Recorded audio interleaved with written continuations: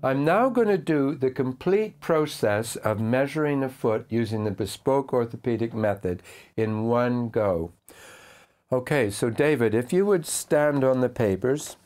I've got two pieces of paper. I'm just going to do the left foot, but if I was doing both feet, I want to do them both at once so that what I do here, I do here, and it's all um, balanced.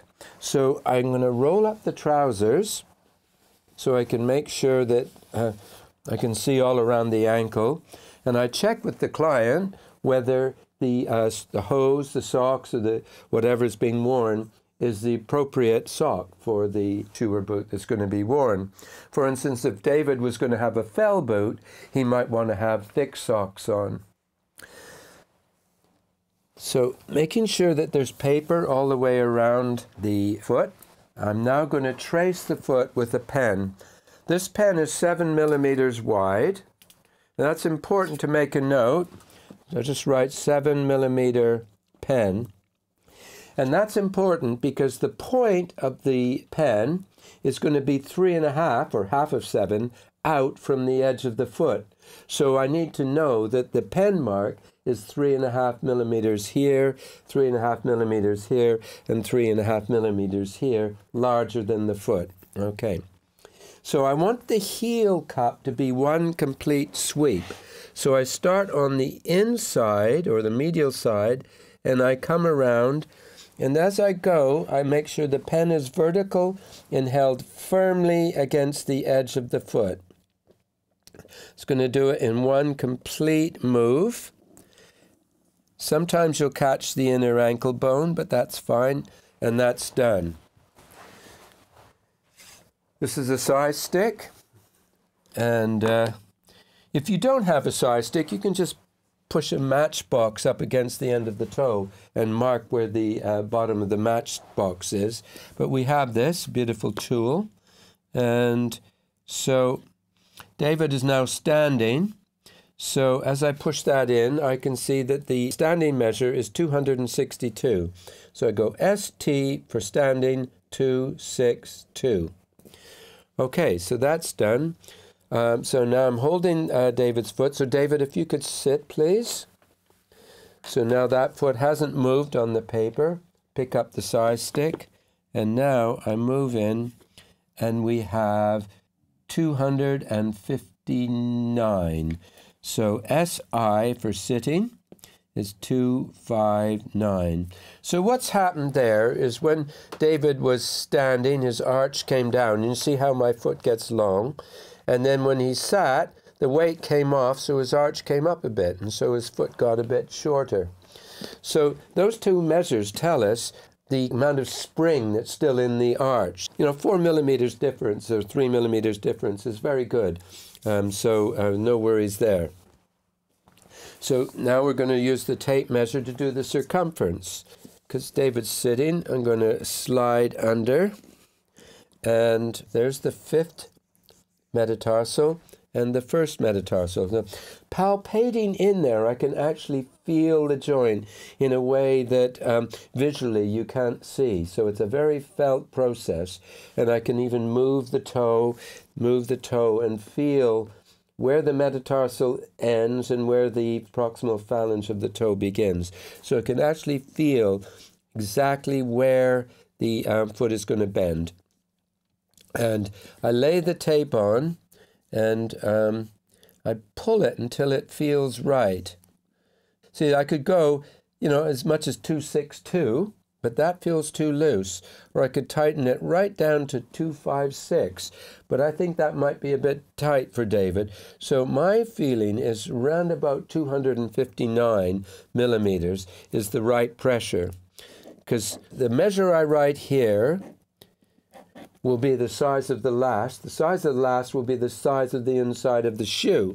So what turns off the inside of the tape becomes the inside of the shoe. So I'm actually gauging how much pressure I want to have on that shoe.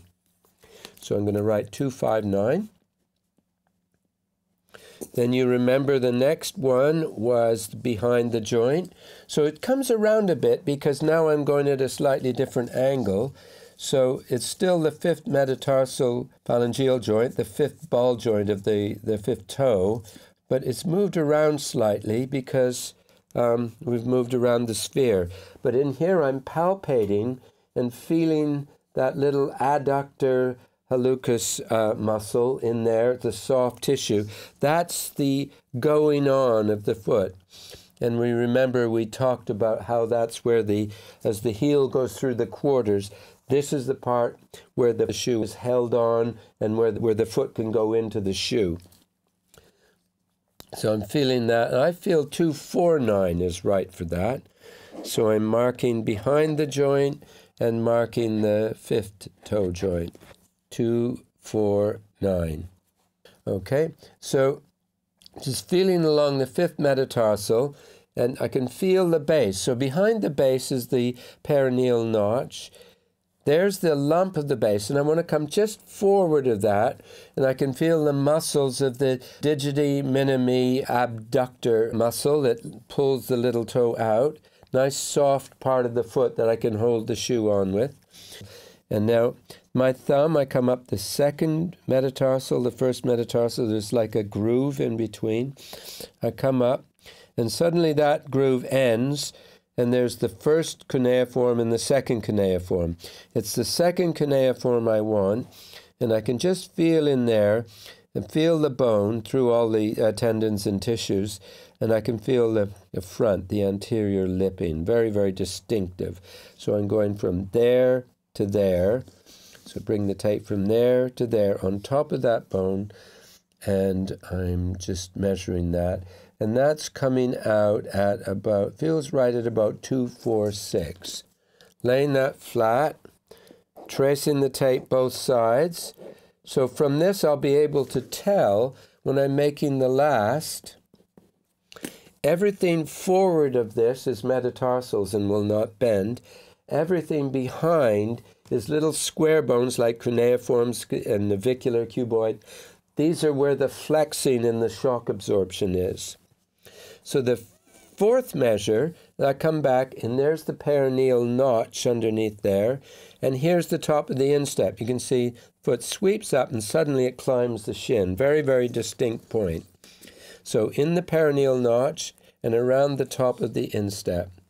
And that is 258. So marking that. And write 258.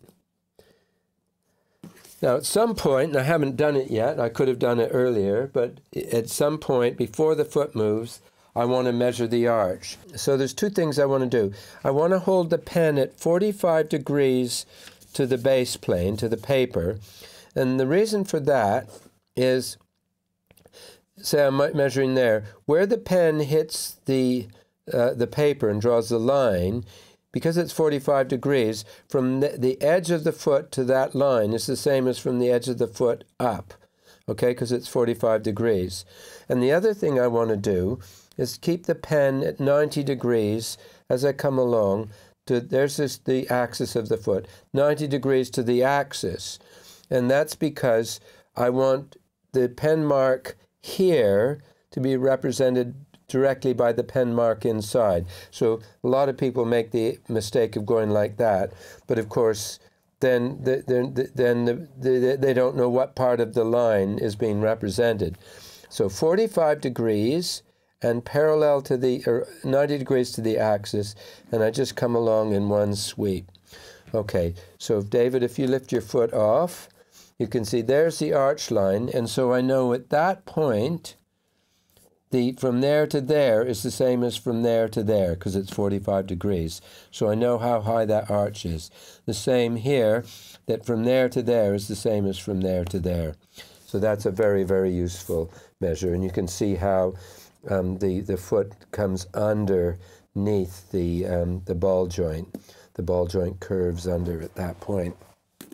And then the uh, fifth and sixth measures to finish are around the heel bulb. So the same points we found, the second cuneiform bone, top of the instep, are the points that we're going to use for this measure. So again, I come up, find the two metatarsal bones come up where they end. There's the second cuneiform bone. Find the anterior lipping very accurately. Put zero, you see the zero there, straight on top of that. Then wrapping around, capturing the heel of the bulb and going on top. And there I have 361. See where the 3, 6, 1 crosses the 0. And so that's the long heel, L, H, long heel, 3, 6, 1. Now the top of the instep, I can put that there. See that where the, the uh, instep comes, ends, climbs up. That's where I don't want to go any higher with the lace panels on a shoe. So it's really important to know where that is. Uh, otherwise, you know, when you go to take a step, the, the, the laces dig into the, the foot. So hold it there, I come around, and this time I've got 339. So SH, short heel, 339. So now I have one, two, three, four, five, six measures, two length measures. Now I just want to demonstrate why that uh, short heel measure is important. So if David lifts his foot, it's this short heel measure is the pass line for a boot. So if you're making a Wellington boot or a, a zip-up boot uh, or you know elastic sided boot, this is where the foot just squeezes through and then the heel pops down. It's called the choke or the going on or the throat of the boot. So that short heel is a very critical measure. So if we take the foot off, here we have uh, a standing length, a sitting length, a trace of the foot, and we know that that trace is three and a half millimeters larger than the foot. And then we have the uh, joint measure from the first toe joint to the fifth, the uh, behind the joint, fifth toe joint to behind the joint. Instep measure going from the in, just forward of the base of the fifth metatarsal. So we know that the base of the fifth metatarsal is sitting right in there. That's really important to know. And that's wrapping around the first cuneiform. And then in the peroneal notch is the top of the instep measure. And then we have the long heel measure to the cuneiform and the short heel measure to the top of the instep. So now I know that as the, we go up into a high heel, this gets further and further forward, but the bend line is always there.